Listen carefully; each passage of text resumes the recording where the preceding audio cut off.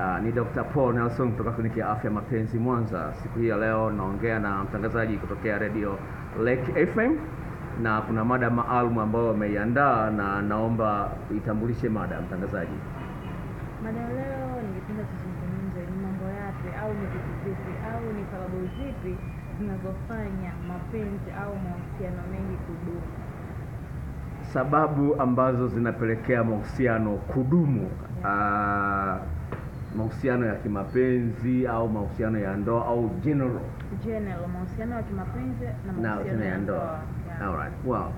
Kikubwa ambacho kinapelekea mahusiano mengi ya kimahusiano ya kimapenzi ya sidumu ni ukosefu wa elimu juu ya mahusiano ya kimapenzi kwa ujumla, na hii inasababishwa na kwamba watu huanza mahusiano ya kimapenzi katika umri mdogo sana. Kutokana na hamu ya tendo la ndoa, mabinti kwa vijana wanaanza mahusiano ya kimapenzi bila kuwa na elimu ya kutosha au ufahamu wa kutosha juu ya mahusiano hayo. Ukweli ni kwamba kuna tofauti kati ya mwanamke na mwanaume, jinsi ubongo wa mwanamke unavyofanya kazi na ubongo wa mwanaume unavyofanya kazi ni vitu viwili tofauti. Sasa kutokana na kutokuelewa tofauti hizo, inajikuta watu wengi wanakuwa wepesi sana wa kulaumiana pale inapotokea makosa, badala ya kuangalia jinsi gani tutasaidiana ili kuboresha uhusiano huu, kuongezea utamu uhusiano huo. Kwa hiyo la kwanza kubwa ambalo inapelekea mahusiano mengi yasidumu ni ukosefu ufahamu wa kutosha. La pili ni kuanza mahusiano katika umri mdogo. La tatu ni kutokana na mwingiliano mkubwa wa watu. Ninapozungumzia mwingiliano mkubwa wa watu, yani watu wanakutana kwa urahisi sana, watu wa jinsia tofauti, shuleni, chuoni. Yani the main point ilikuwa ni mambo gani yanayodumisha yanayofanya mahusiano mengi kudumu Ah, all right. Okay. Yeah. Well, maswala so, so, okay. Hivi nimeongelea vitu ambavyo vinasababisha mahusiano kuharibika, lakini Yeah. vitu ambavyo vinachangia mahusiano kudumu kwa sehemu kubwa, la kwanza ni ukweli. Watu wasipoheshimu ukweli, maana yake watapingana na ukweli, na huwezi ukapingana na ukweli ukaushinda uka- ukweli. Sawa, kama maji ni maji yanachemka kwenye digrii mia moja yanachemka kwenye digrii mia moja. Kwa hiyo watu wengi wa, wa, wanaanzisha mahusiano ya kimapenzi bila kuwa na heshima kwenye ukweli. Ninapozungumzia hivi, lazima tukubali sisi kama wanadamu, kila mmoja anakosea, hakuna ambaye hakosei. Sasa mtu ambaye ataficha kwamba amekosea, mtu ambaye ataficha kwamba ana madhaifu, hawezi akadumisha mahusiano. Kwa hiyo ili watu waweze kudumisha mahusiano, lazima wakubaliane kwamba tuishi maisha ya ukweli, yaani mtu ajisikie huru kuonyesha uhalisia wake. Kama umeniboa nikuambie kwamba umeniboa, kama umeniudhi nikuambie kwamba umeniudhi. Lakini watu wengi wanashindwa kulifanyia kazi hilo, na wanajikuta kwa sehemu kubwa wanaendesha mahusiano katika hali ya kuogopana. Kwa uhusiano hauwezi ukadumu kama hao watu wawili hawaheshimu ukweli. Kwa hiyo kikubwa ambacho kitaweza kusaidia mahusiano ya watu wawili kudumu, la kwanza lazima watengeneze mazingira ambapo kila mmoja anajisikia anao uhuru wa kuhoji jambo lolote lile, na mwingine ajisikie kwamba anaweza akamsikiliza mtu na kusikiliza hisia na maoni ya mwenzie. Kinyume na hapo, utakuta hawa watu wanaingia katika ushindani. Unaona mahusiano mengi Mm. ya hayadumu kutokana na mtu anaamua Mm. kutengeneza ile hali ya uongo ili tu kuweza Kumpata. kukinga mahusiano yake yasivunjike, anatumia tu uongo. Mm. Unaliongeleaje Well, Kwa hivi mtu anayetumia uongo katika mazingira yote yale hayuko tayari kuonyesha uhalisia wake. Sasa unapokuwa na mpenzi muongo, sawa, ameshindwa kuonyesha uhalisia wake, ni kwamba wewe una uhusiano na kivuli chake, lakini sio yeye mwenyewe, kwa sababu ule uongo umeficha uhalisia wake. Kwa hiyo unakuwa na mtu anaonekana kwamba bana ni mkweli, ni mlokole, kumbe sio mlokole. Sawa, unaona unaona kuna, kuna, watu wanasema wanajiita walokole, lakini ukiwafuatilia unakuta wana mambo machafu kuliko hata mtu ambaye hajaokoka. Kwa hiyo mtu anapoficha uhalisia wake, maanake wewe una una na uhusiano na kivuli chake, sio yeye mwenyewe. Kwa hiyo unakuja kugundua ah, kumbe yuko hivi. Unaona, sasa unaanza unaona mtu amebadilika ghafla, anafanya vitu vya ajabu kwa sababu amegundua ah, kumbe mtu yuko hivi.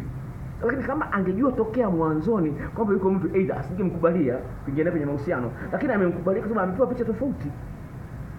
Basi kwa hiyo umeingia kwenye mahusiano mbona kujua ah kumbe mtu hana mapenzi ya kweli. Tayari sasa inaanza sasa ni mvutano. Sasa mvutano nafikia mmoja anaona mm, sasa hii imenishinda imekuwa too much. Wanaamua wanaachana Kitu kingine kinachopelekea mahusiano kudumu au ndoa. kudumu? Yeah. wa napenda kuzungumza hili na kwamba kikubwa ni watu kushindwa kuwa wakarimu. Na kuzungumzia ukarimu jinsi gani unaweza kumhudumia mwanamke. Sawa na asilimia kubwa ya wanaume wanapata shida kidogo kumhudumia mwanamke kwa sababu ni ile hali ya ubinafsi. Anajiona kwamba mimi nikiwa na gari na kila kitu anashindwa kumhudumia mwanamke na kumjali mwanamke kama mwanamke. Hilo la kwanza. La pili ambalo linachangia mahusiano mengi kuvurugika ni tendo la ndoa. Uh, mahusiano yanadumu ya- yanadumu iwapo tendo la ndoa linaenda vizuri sana. Tafiti za kisayansi zinaonyesha hivi, iwapo tendo la ndoa linafanyika vizuri, kila mmoja anafurahia tendo la ndoa, ubora wa uhusiano huu unakuwa imara kati ya una, unaimarishwa na tendo la ndoa kati ya asilimia kumi na tano hadi ishirini. Lakini tendo la ndoa lisipokuwa na utamu wa kutosha inachangia kuharibu mahusiano kati ya asilimia 85 kati ya asilimia 80 hadi 85 kwa ni kitu kidogo lakini kina nguvu kubwa. Na toka nimeanza kliniki ya afya ya mapenzi elfu mbili na sita mpaka leo nimegundua sasa hivi kasi ya wanawake ndani ya ndoa kusaliti imekuwa ni kubwa mno. Kiasi ambacho nakuta vijana wanakuambia inakuwaje dokta nikitongoza binti ambaye hajaolewa anakuwa mgumu kumpata. Lakini nikitongoza mwanamke aliyeolewa inakuwa ni rahisi kumpata. Hizo kesi nakutana nazo nyingi sana. Unaweza kuona jinsi gani huyu mwanamke yuko ndani ya ndoa lakini hafai tendo la ndoa. Kwa hiyo anafikiria kwamba hawa vijana ndo kwa hiyo ana- anachipukia kwa vijana sasa mwanaume akija gundua na, na, na, na ilivyo mtu yote yule awe mwanamke au mwanaume anapoanza kuchepuka lazima atabadilika lazima Kuna visaini fulani lazima ataonyesha. Yeah, that's right. Yeah, yeah, that's right. Yeah, yeah, yeah, yeah. Yeah. kuna kuna wimbi kubwa kwenye mahusiano ambayo inatokea kwamba mwanamke na mwanaume wanapenda kusikilizana kwa vitu vidogo vidogo aidha ndani labda mwanamke anataka kufanya kitu fulani Mm. lakini kwa kuwa ni mwanaume Mm. anashindwa kumsikiliza kwa kuwa tu ni mwanaume si unajua kuna yule mwanaume anajijengea kwamba mimi ndo mwanaume mimi ndo top of the family mimi ndo mwamuzi Mm. Hiyo yeah, kama. Nakumbuka ulizungumzia kwenye video moja ambayo nimeweka nime- nime- nime kwenye kwenye YouTube ni kwamba mwanaume siku zote anaona mahusiano ya kimapenzi kama vile ni mchezo ambao siku zote yeye lazima ashinde. Sasa hakuna mchezo kama ambao siku zote wewe unashinda. Sasa kutokana na mazingira kama hayo, ni kwamba huwa napenda kuambia vijana ambao wa- wanataka kuingia kwenye ndani ya ndoa, kwa mfano, mwanaume wa ukweli yukoje? Mwanaume wa ukweli ni mwanaume ambaye ana degree ya unyenyekevu, anakuwa mwepesi wa kubali kosa yake na kuomba radhi. Sasa ukiona unapata mwanaume ambaye ni mgumu kukubali makosa yake, ni mwanaume mkatili. Sasa unakuta kwamba uh, watu wawili ambao wana wa- wana mahusiano ya kimapenzi lazima washirikiane. Sasa hamwezi mkashirikiana kama mmoja ni mtumwa mwingine ni bosi. Kwa hiyo mtumwa hana, hana, hana sauti. Sasa hali hii inasababisha mwanamke ananyong'onyea, anajisikia mpweke japokuwa ameolewa, anajisikia mpweke japokuwa ana mtu, kwa sababu? Anajiona hana sauti. Sawa. Kwa hiyo mwanaume analofanya, kama mwanamke mwanaume anasema kwamba sitaki ushike simu yangu, lakini yeye anashika simu ya mwanamke, anapekua. Unaweza kuona jinsi gani hapo mwanamke anajisikia vibaya. Kwa nini? Yeye simu yake hataki nishike, lakini ya kwangu anashika. Inakuwaje? Katika mazingira kama unaona moja kwa moja mwanamke anajisikia vibaya, na ndio hapo sasa mwanamke akiona hivyo anajua mume wangu ananisaliti, na yeye anaanza kusaliti. Kwa hiyo ndoa itafika wapi? Kwa hiyo ndio maana nazungumza kwamba umuhimu wa kutengeneza mazingira ya uwazi na ukweli ni mzuri sana, kwa sababu inasaidia kila mmoja anajiona yuko free. Lakini pale ambapo unaona mwenzako, kwa nini anifichi hiki? Alafu uh, unapomuuliza anakuwa mkali. Kwa hiyo na mimi nitatumia ujanja wangu kujifurahisha, kwa sababu napokuwa na mimi nimekusaliti, wewe unajua kufanya unajiona mbaya na kuona mjinga. Sasa unaona unajiona mbabe, si unajua mbabe, lakini nimekusaliti leo, nimetoka kulala na mwanaume mwingine, lakini anapata faraja ila fulani. Ah, kwa mfano Mm, tunaona ndoa ndoa nyingi sasa hivi zina michepuko sawa. Unakuta mtu ana mke wake ana mme wake au yupo tu kwenye mahusiano unakuta Right. mwanaume anamtimizia mm. kila kitu Mm. au mwanamke Mm. anamtimizia mwanaume wake kila kitu lakini mwanaume anaamua kwenda sehemu nyingine Mm. unajiuliza ni nini ukimuuliza mwanamke mtu wa pembeni sasa ukimuuliza mwanamke kwa nini mwanaume wake anafanya hivi Mm. anasema sijui nadhani ni nini kinachopelekea Sasa uh, tunarudi kwenye pointi ile ambayo tumezungumza kwenye tendo la ndoa kwamba ni, ni kitu kidogo lakini kina nguvu sana. Labda nikupe story ya kweli. Mama mmoja kutoka Dar es Salaam, sawa, anaongea naye kwenye simu. Huyu mama huyu ni mwanaume wake wa kwanza, amefunga ndoa, anafanya kazi, mume wake naye anafanya kazi. Mume wake anachepuka sana, sawa, mume wake anachepuka sana. Sasa anamwambia anamwambia kwa nini mume wangu una- una- unanifanyia mambo kama haya? Anamwambia hivi, wewe uniridhishi. Yaani mwanaume anamwambia mwanamke uniridhishi. Anamwambia wewe uniridhishi. Akamwambiaje? Ukitaka unibadilishe uwe kama changu doa. Eh? Unaona, akamwambia ukitaka kunibadilishe uwe kama changudoa. Sasa yule dada akaenda kwa marafiki zake akauliza hivi maana yake nini statement? Marafiki nitaka kumwambia ana- anataka kufanya na wewe kinyume na maumbile. Sasa hapo anaongea na mimi nikamwambia hiyo sio kweli. Alichokwambia sio kweli. Kwa sababu gani? Anasema uwe cha kudua yani ujue jinsi gani ya kumwandaa mwanaume, kumfanyia mwanamcha kumsisimua mwanaume wakati wa ndoa. Asilimia zaidi ya 80 ya wanawake hawajui, wanabahatisha asilimia zaidi ya 80 ya wanawake wanabahatisha. Nimetengeneza uh, video clips ambazo zinaonyesha jinsi gani ya mwanamke kumwandaa mwanaume na ziuza kwa gharama ya shilingi elfu kumi zimepata wateja wengi kuliko kawaida. Sawa. Sasa cha, cha msingi kwamba nimepata witness moja, dada mmoja akanipigia simu, akanitumia kanitumia message. Naweza naweza nikakusomea hii message, naomba uisome hii message. Eh, ngoja ni ngoja nimtafute huyu dada kwa sababu namba yake nilisave.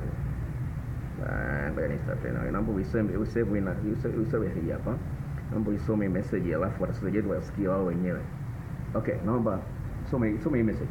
So, so kwa sauti kidogo. Kila kitabu chako pole kama bata pole kama bata na maeneo yake Mhm. kumi na moja ni noma. Mhm. Ya kwanza Mhm. nilikisoma majuzi, Mhm. jamaa kwa mara ya kwanza amekojoa huku anapiga kelele, nimeshangaa sana Mm. ni kidogo matatizo. Unaona, yaani mwanaume anafika kileleni mpaka anapiga kelele, ni kitu ambacho hajawahi kukutana nacho, na uhusiano huo na mwaka mmoja na nusu. Amekutana na elimu mpya tofauti, amemfanyia mwanaume, mwanaume ameona kitu tofauti. Kwa hiyo hiyo inachangia sana na- na- na- wanaume kusalita. Lakini lingine ambalo lipo ni kwamba wanaume wana matatizo ya kuwahi kumaliza, anaishia kagoli kamoja. Mwanaume ambaye anawahi kumaliza anakuwa hajamaliza kamu yake ya tendo la ndoa na kama hajamaliza itamsumbua na ikimsumbua ndio anaenda kwa wanawake wengine. Nakutana na kesi nyingi sana za wakina baba ambao wanasema kwamba kwa mke wangu naishia goli moja, lakini nikienda nje ya ndoa magoli matatu bila shida. Baba mmoja alikuja ofisini kwangu, sawa, amenisikia redioni, alikuwa amezoea kwa mke wake naishia goli moja, alipata mchepuko alikuwa magoli matatu manne, akaona anapata raha sana. Sasa imefikia kwa mchepuko na kwenye kabakia goli moja, akaamini kwamba mke wake amemloga. Sasa kaanza kumpiga mke wake, amwambie kwa nini amemloga kwamba si kweli wamerogwa, na kwamba ukishamzoea yule mwanamke na uje pale pale.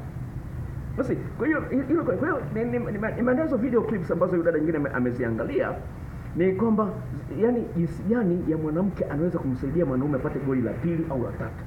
Uwezekano huo upo, sawa, kwa sababu jinsi gani ya kusisimua mwanaume mpaka apate msisimko asimamishe mara ya pili au ya tatu, inasaidia sana mwanaume, kwa sababu anapoishia goli moja anakuwa ile hamu ya tendo la ndoa anakuwa hajamaliza, wanaita sexual energy au nishati ya tendo la ndoa. Kama hajamaliza itamsumbua. Nakumbuka kaka mmoja alimpigia simu muda mrefu kidogo, na miaka sita iliyopita, akasema, daktari, inakuwaje? Mimi naweza kufanya mapenzi na mtu wangu Igoma, nikaishia goli hili moja, nikaja Mabatini ambayo kama kilomita kilo- kilomita tano, nikafanya mapenzi na mwanamke mwingine siku hiyo hiyo, nikatoka hapo naishia goli moja, nikaenda Capri Point nikafanya na mwanamke mwingine naishia goli moja. Inakuwaje? Eh, Hii mwingine anajishangaa inakuwaje? Yaani anashindwa kuanzisha goli. Kwa hiyo ile hamu anakuwa hajaimaliza, ina inamsumbua. Sasa hivi mwanaume anapofanikiwa kumaliza hamu ya tendo la ndoa akitoka pale ndani akienda nje, wanawake hata kama ikuwa wazuri kiasi gani, anaona kama maua, hawamsumbui akili. Lakini akiwa hajafanya mapenzi kwa muda mrefu au hajafanya tendo ndoa katika hali kiwango kile, akifika kwa wanawake, kila mwanaume na mwanamke anamtamani. Kila mwanamke atamwona mzuri. Yeah, exactly.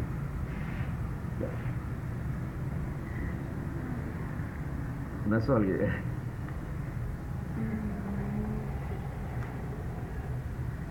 Swali labda labda Mm. kwa ningependa kuuliza ili kwa mwanamke Mm. kwa mwanamke Mm. ili ujue kwamba mwanaume huyu ananifaa kwenye mahusiano Mm. inabidi uzingatie vitu gani? Sasa ah, well, hivi kikubwa kama nilivyozungumza, kikubwa lazima upate mwanaume ambaye ana ile roho ya unyenyekevu. Sawa, yakiaa ni mwepesi kukubali. Unajua nini, watu wawili mnapokuwa mnakutana mkapendana, sawa, kila mmoja ana historia tofauti. Lazima mi nijifunze kutoka kwako sawa na wewe ujifunze kutoka kwangu. Sasa mkitengeneza mazingira ya uwazi na ukweli, nitakwambia nilo moyoni, utaniambia kwa hiyo nitajua vitu gani mwenzangu anavichukia, vitu gani mwenzangu anavipenda. Kwa hiyo kwa hiyo kishindo kutengeneza hilo, basi ikuta kila mtu anafanya mtu kubahatisha, mtagongana. La kwanza. La pili, sawa, katika hele hilo, kwa hiyo unapokuambia kitu kipendi, unachukulia serious, unaanza kukiepuka. Kwa mfano, unamwambia mume wako, bwana, sitaki mazoea na huyu binti, lakini bado anaendelea bado na mazoea na huyo binti, wakati wewe unaumia kwani hajali hisia zako. Kwa hiyo mtu ambaye ana- ana- ana- ana- ana- anakupa uhuru wa kutoa hisia zako na anafanya bidii kubadilika, hiyo inakuwa ni jambo la msingi. Lakini lingine ambalo la msingi ambalo nachangia vile vile, uh, ukishaona eneo la unyenyekevu, la pili ni ukarimu. Jinsi gani mtu anaweza kukuhudumia, wanaita acts of service. Anaonyesha kumbe anahangaika kwa ajili yako. Sawa sawa, hilo jambo la msingi, na kadhalika kwa mwanamke vile vile kumhangaikia mwanaume, hiyo ni vitu vya vya kawaida. Kwa maeneo hayo mawili ni ya msingi sana sana, ili uweze kuweza kuingia katika uhusiano ambao unaweza ukadumu ukaenda mbali. Kwa sababu gani? Kwa sababu kila mmoja anakosea, mtarekebishana. Lakini kama hakuna kipengele cha unyenyekevu, hamwezi mkafika mbali mkiwa mna raha. naweza ukafika mbali, lakini mnavutana siku zote. Dokta, mahusiano mengi sisi yanatokea kwamba tu mm -hmm. tumeingia kwenye mahusiano. Sawa. Baada ya kuingia kwenye mahusiano tumeshafanya mapenzi, kwa sababu mahusiano ya siku hizi mpaka mfanye mapenzi na mahusiano yaende. Ndio, yeah. Tumekaa labda kwa mwezi Mm. namchunguza mpenzi wangu, Mm. nakuta kwamba kuna vitu anafanya mimi sivipendi, au Mm. kuna tabia anazifanya mimi sivipendi Mm. kiukweli zinaboa Mm. na najitahidi kumuuliza Mm. kumkataza Mm. aachane hizo tabia Mm. hataki Mm. nachukua jukumu yani nakuwa na ile hali ya huzuni kumwacha nashindwa hapo nafanyije Okay, good. Afadhali malizia pointi ya mwisho ambayo mmalizia. Kumwacha nashindwa. Ni hivi. Shida iliyopo kwa watu wengi ambao wanaingia kwenye mahusiano ya kimapenzi ni kwamba wao wenyewe hawajithamini vya kutosha. Sawa, unapojithamini ukajipenda wewe mwenyewe, unaona kwamba yeye anayekusumbua yeye anayekusumbua unamweleza, unamwekea mipaka. Huyu ni mpenzi wako, sawa, unamwekea mipaka. Hili sitaki. Ukiona anadharau, anafanya yale ambayo yanakuumiza wewe, unamwambia nenda. Shida iliyopo ni kwamba asilimia kubwa ya watu wanaomba, akiniacha nitakuwa nimepata hasara. Sasa kwa maana yani wewe mwenyewe unajiona huna thamani, Yaani thamani yako inategemea kuwa na huyu mtu, kitu ambacho si kweli. Kwa hiyo unapojua kama unapochukua kwenye saikolojia wanaita self esteem, Yaani jinsi gani unajithamini wewe mwenyewe. Ambacho mtu akikuchezea, unamuona unataka sana nikaa mbali na mimi, sawa? Sasa hivi mtu anakuambia mjinga. Wakati unajua sio mjinga, unakasirikia nini? Naona kwa kama unajifahamu mimi sio mjinga, mtu ananiambia mjinga, namuona yeye ndio mpumbavu. Sawa, mtu anakuambia una ukimwi, unajua una ukimwi, unakasirikia nini? Kwa hiyo ukijifahamu wewe mwenyewe, ukiona mtu anakuletea figisu figisu, unaambia unakaa mbali, simple. Lakini ni kwamba kwa sababu unaona kwamba oh, watu watanicheka nimeachika, watanidharau wamenicheka nani nini nini, kwa hiyo unaendelea kuumia humo humo. na vitu labda nitakosa Eh, kuna vitu nitakosa, unaona unaona unaendelea kuumia. Sasa unateseka mpaka utumbo unatoboka. lakini saa nyingine unajua mtu inaweza ikakutokea hiyo hali Mm. ukaona ni bora niendelee kuteseka kuliko kumkosa huyo mtu yani ndio Mm. Sasa ni hivi, ndio hivi nazungumza kwamba pale ambapo hujajithamini wewe mwenyewe, unaona yani bila huyu siwezi kuishi. Lakini kama unajithamini pale mwenyewe unaona kama lakini kwa mbona mimi nimezoea peke yangu? unaye vipi? Sawa. Okay, sasa kama unajithamini mwenyewe ndio hivyo kwamba utaendelea kukaa naye lakini huyu mtu atakuja atakuacha kwa sababu hakupendi. Kwa hiyo utaenda naye mbali lakini kuna siku tu atakuacha. Kama kama sio kukuchinja. Au atazidi kukuumiza zaidi ambapo ungeamua tu Utashindwa kuvumilia. Eh eh. unge Eh. pengine ungetumia muda mfupi sana Exactly. Yeah, ukaisha exactly. lakini kuna yale mahusiano unakuta kwamba Eh eh. mdada anatafuta penzi la kweli anatafuta mwanaume ambaye atakaye nijali atakaye nithamini Eh. nimetafuta mwanaume wa kwanza tumeshindana. Mm. tumeachana mwanaume wa pili tumeachana Mm. tumeshindwana mwanaume wa tatu najiuliza kwa nini nakaa nabadilisha kwa nini sivumilie tu Mm. nazidi kuumia eh, hiyo unaichukuliaje Alright, sikiliza, ngoja nikwambie. Uh, kuna mada moja ambayo nimeweka kwenye YouTube hivi karibuni nasema kwamba jiulize kabla hujalizwa. Hivi unapoingia kwenye mahusiano unatafuta nini? Hebu kuuliza. Unatafuta furaha Ah, good, that's very good. Sasa unapokuwa unatafuta furaha, ukiona mtu anachangia kwenye furaha yako, huyo mtu hakufai. Shida ni kwamba kwa sababu unaona kwamba ukiwa na huyu mtu unajiona kwamba wewe ni star, ndio maana unakuwa hivyo. Hivi, ni hivi. ni kwamba huenda una mapungufu yako wewe mwenyewe huyajui. Sawa, kwa mfano niko katika maandalizi ya mada inasema kwamba vyakula vinavyosababisha uke wa mwanamke wewe unatoa harufu mbaya. Sawa, kuna vyakula ambavyo vina sasa wewe hujui kama uke wako unatoa harufu mbaya. Sawa, hujui. Lakini wewe mwenzio anajua. Sasa hawezi akakwambia. Unaweza kuona, na naweza kukwambia, unaona? Ndio maana nimezungumza umuhimu wa kutunza mazingira yale wazi na ukweli, jambo la msingi sana. Sawa. Ndio hivi. Huenda una, kuna vitu unakosea lakini hujui kama unakosea. Ndio maana ni muhimu sana watu kujielimisha, kufahamu hivi mahusiano yanaendeshwaje. Usifanye vitu kwa sababu umeona mama yako anaishi na baba yako hivi, ukawa unafuata vitu ambavyo mama yako alikuwa anafanya kwa baba yako au baba yako anafanya kwa mama yako. Sawa. Lazima ufahamu hivi mahusiano yanaendeshwaje. Sio tu bora nimeolewa basi. Napigiwa sio dada mmoja kutoka Tabora, anasema dokta, eh, channel yako ya YouTube imenisaidia sana kujifunza mambo mengi sana. Nimeingia kwenye ndoa sijui ilikuwa sijui lolote. Na afu nikaingia tena nikaokoka. Unaona? Nilikuwa jua lakini sasa nimeanza kujua kweli ndoa inaendeshwaje. Unaweza kuona jinsi gani? Mama mwingine kutoka Kibaha ananitumia message, asema dokta, nimekuwa mwanamke mpya. Basi kwa hiyo elimu inasaidia kumbadilisha mtu akawa mzuri au mbaya. Nategemea ni elimu ya aina gani anaipokea. Nakaa na najitathmini ajili nijue kwamba labda nina mapungufu haya, ndio maana nakuta labda naachwa na wanaume. Okay, kuna kitu ambacho nimekizungumza kwenye video ambayo nimeweka inasema kwamba uh, jiulize kabla hujaulizwa. Ni kwamba kwenye, sayansi ya saikolojia kuna kitu kinaitwa critical thinking. Critical thinking ni kwamba unajihoji wewe mwenyewe, kujiangalia, hivi kweli mimi ni mpenzi bora? Sasa kuna mtu ni kweli ana hela, ana kazi. Ngoja mpe story moja, itakusaidia kuelewa. Hii story ni ya kweli. Dada mmoja, ni dada. Benki, ana sio chini ya milioni kumi, anaendesha gari nzuri, ana ana nyumba nzuri kweli, sawa? Anataka mume, amepata mpenzi, sawa, amepata mpenzi, uhusiano una miaka kama miwili, sawa. Sasa mpenzi biashara yake kwa imeshuka, akamkopesha milioni tatu, sawa, kisha milioni tatu. Ayule yule baba amerudisha sasa hivi kama laki ngapi sio. Unaona bwana? Sasa kaka akaanza kubadilika vile. sio akaanza kubadilika. Alipoanza kubadilika, hasa ndio akaja ofisini kwangu huyo dada. Amekuja ofisini kwangu. Anazungumza hivyo na yeye nikamwambia hivi. Sasa sasa wewe unashindwa kulipia gesti.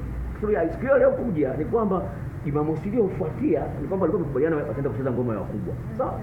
No, wamekubaliana kwenda ngoma kubwa. Lakini mwanaume hakumwambia sitaenda akakaa kimya. Kama hivi wewe mwanaume msikwambia biashara yake imeenda vibaya. Kwa nini usitoe kulipa guest? Asema wewe utajikuwa umejishusha sana, sijui nini na nini na nini. Kwambia mjinga wewe. Sawa, wewe wewe mwenyewe unalia. Saa za usiku, unaamka unalia, unamlilia mwanaume huyu huyu saa za usiku. Anaamka analia analia analia. Kwa mama, lakini kutoa shilingi thelathini kwa ya guest anamshinda.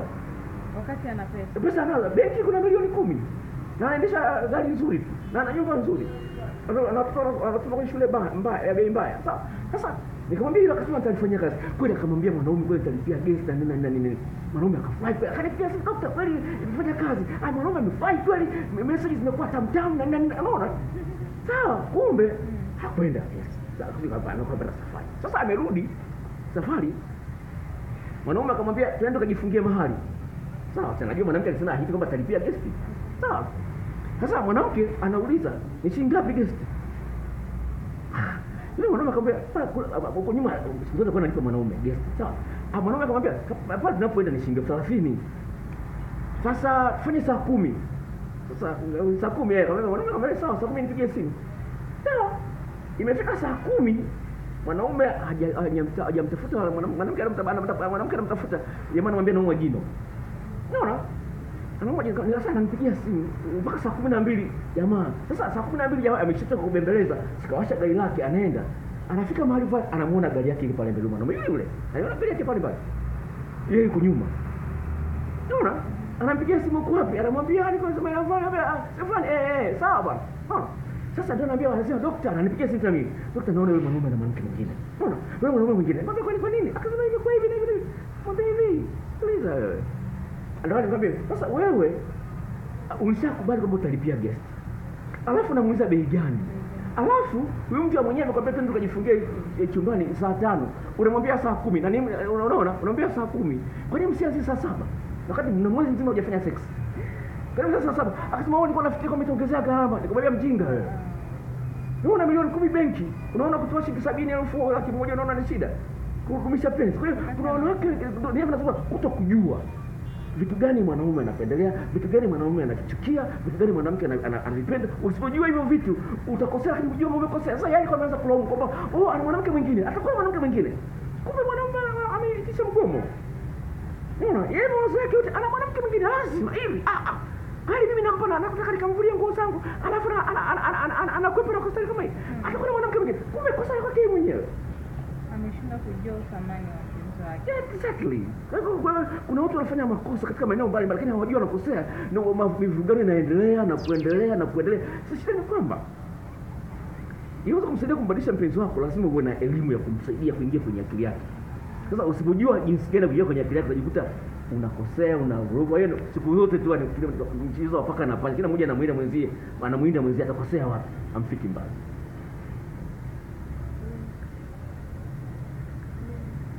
Na swali. Alright. mi ningependa tu Mm. uweze kuwashauri wanazengo wanasikiliza kipindi ni Mm. mambo gani au ni vitu gani ambavyo vinaweza kujenga vinaweza kujenga hasa mahusiano au ndoa isiweze kukwamakwama Well, kikubwa ambacho napenda kuzungumza kama nilivyozungumza kwenye kwenye kwenye eh, hapo mwanzoni ni kwamba lazima watu waheshimu ukweli. Sawa? Pasipo ukweli hamwezi mkafika mbali. Biblia inazungumza mahali sana kwenye waraka wa uh, wa pili wa kitabu cha waraka wa Yohana inasema hivi, tukisema kwamba hatuna dhambi tunajidanganya sisi wenyewe na wala kweli haimo mwetu, bali tukiziungama dhambi zetu Mungu ni mwaminifu. Pale ambapo una madhaifu yako, yakubali madhaifu yako, mshirikishe mwenzio, msaidiane kama timu kutatua matatizo. Sasa wewe mwanaume na matatizo ya nguvu za kiume, wewe unalia tu, anilizishi anilizishi. Je, umeonyesha nia gani kutoka kumsaidia kwenye hilo eneo? Mimi wako kina mama ambao nilikuja ofisini kwangu kuwachukulia waume zao dawa za nguvu za kiume, dawa wako wanawake wamekuja. Sasa shida ni kwamba unaposhindwa kuwa kutengeneza mazingira ya ukweli, mnakuwa ni ile hali ya kushindana shindana, nani mdhaifu ni mcheke, nani sasa, hivyo amfiki hamfiki mbali. Hilo la kwanza, kuheshimu ukweli. La pili, iwapo mtaheshimu ukweli, kuna mahali utakosea, kuwa mwepesi kuomba radhi. Unaona, kwa sababu kama huwezi ku- ku- kujirekebisha, hu- huwezi kujirekebisha kama hujakubali umekosea. Pale unapokubali kwamba umekosea, ndipo unaweza kujirekebisha. Lakini usipokubali, endelea hivyo hivyo, hamwezi kufika mbali, mnaendelea kuumizana. Mtu mmoja anachoka kuumizwa, anaondoka. Basi kwa hiyo haya ni mambo makubwa mawili ya kuangalia lakini lingine ni elimu ya tendo la ndoa. Elimu ya tendo la ndoa lilihitajika sana sana katika ulimwengu huu ambapo unaanzisha mahusiano na mwanamke, huyu mwanamke isitembea na wanawake wanaume watatu kabla yako, unaanzisha mahusiano na mwanaume isitembea na wanawake sita kabla yako. Lazima ufundi wenu kitandani utalinganishwa, Na unapolinganishwa na kuona ufaya na unaona unaliboa. Sasa unakuta sasa sitakwambia No, sitakwambia. Unashangaa tu mtu ameanza kubadilika tu na nini, kumbe ameshapata mchepuko.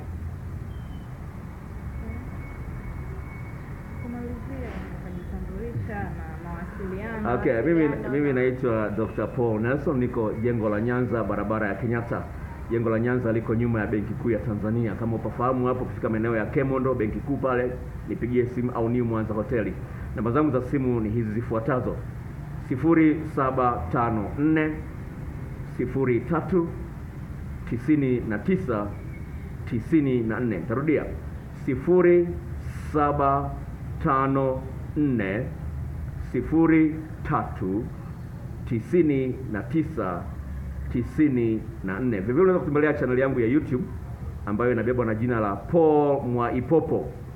Paul Mwaipopo, P A U L, usiandike Paulo, ni Paul Mwaipopo, na mafundisho mbalimbali, na kama kipindi hiki kimeanza kukiangalia katikati, na vivyo nakiweka kwenye YouTube vile vile. Kwa hiyo unaweza kufuatilia ah, kwenye YouTube, uta kipindi hiki kizima utakikuta kwa kwenye YouTube. Karibuni.